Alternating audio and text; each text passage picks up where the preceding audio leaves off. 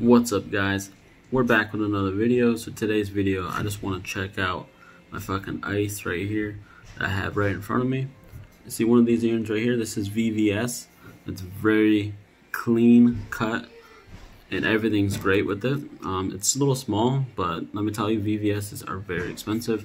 So that's why I didn't get no big boy, huge size one.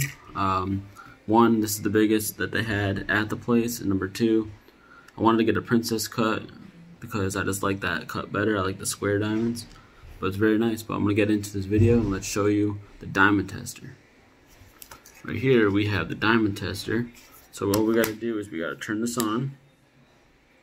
And since these diamonds are a little small, you just put it to four. Three or four, don't matter. Um, once it says ready to go, we're gonna test out these diamonds right here. And I'm gonna show you guys that my diamonds are real. Anything that I had from the past that was fake. I tested everything. If, if it was fake, it went out the door. It either went in the trash or went to my brother. Don't matter. Alright, so now you guys can tell the flash is on. And if I go on the diamonds, you don't see no rainbow. But I have these two in here because the one I have on is right on the right hand side and the one on the left hand side is right here and it's also right there. So they're, they're pairs. I just kind of have this as my backup pair in my safe just in case I lose one of them. So I have one of these. You see that thing dancing in the diamond? Wow. Anyways, let's put this to the test. So the first one we're going to do is this one right here.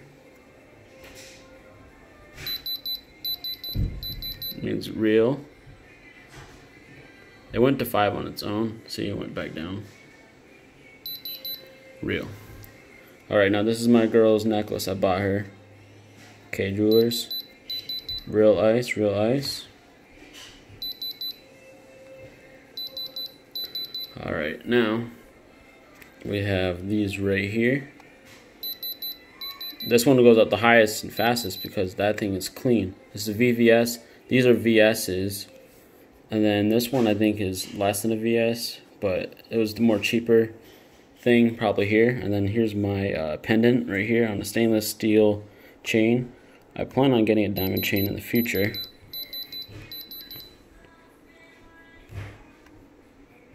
Let's see. Even on the ones on the outside, they're all real too. I'll even put this down.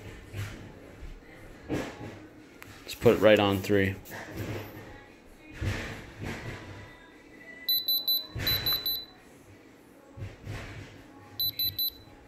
These ones are hard to, to pinpoint too because the the gold. Anyways, I just verified that all of my diamonds are real, and my girl's diamonds right there real. She has some fake jewelry, um, but I did get my baby girl's uh, earrings pierced, ears pierced at um, Claire's, and there you go. It's fake. They had me pay sixty dollars for some fake ass jewelry. I mean, at least she got her ears pierced. That's what I wanted. But there you guys go. Got the real diamonds, and I'm gonna have more to come very soon in the uh, future. I plan on getting a couple more pieces, and then after that, that's it. But let's get one more look at these right here. You can see the dancing diamonds right there. These things are nice, and if they were fake, you would uh, be able to tell it would be rainbowing right now on the flash that's on. And I did the flash on purpose so you guys can see that these are real. See, no matter what angle I put it at, it's not rainbowing. And obviously, as you guys saw, the diamond tester, one more time.